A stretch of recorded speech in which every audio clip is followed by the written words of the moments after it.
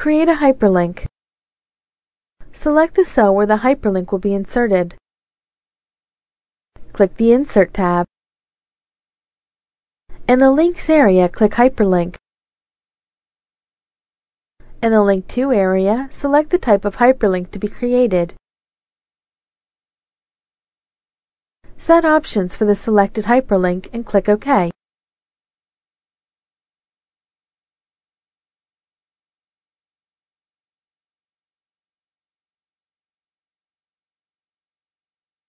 This is the process to create a hyperlink.